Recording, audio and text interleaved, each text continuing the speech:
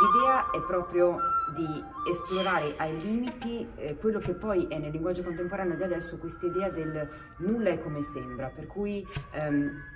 le suggestioni del soffio piuttosto che del respiro possono diventare profumi, come nel caso di Noa Noa, possono diventare angoscia, come nel caso di Labirintes di Vittorio Montalti. Ecco, gli autori eh, spaziano molto da um, autori italiani, autori stranieri, eh, quelli più di punta, diciamo quelli più immaginifici. Per cui abbiamo dovuto studiare bene i brani, capire anche molto bene da dove vengono fuori alcuni suoni particolari, abbiamo usato addirittura dei microfoni miniaturizzati all'interno del flauto per catturare al meglio alcuni particolari suoni. Per uniformare lo spazio acustico abbiamo lavorato in maniera anche molto particolare e volendo anche molto artistica più che tecnica sull'aspetto dello spazio acustico dei brani per flauto solo per aggiungere questa dimensione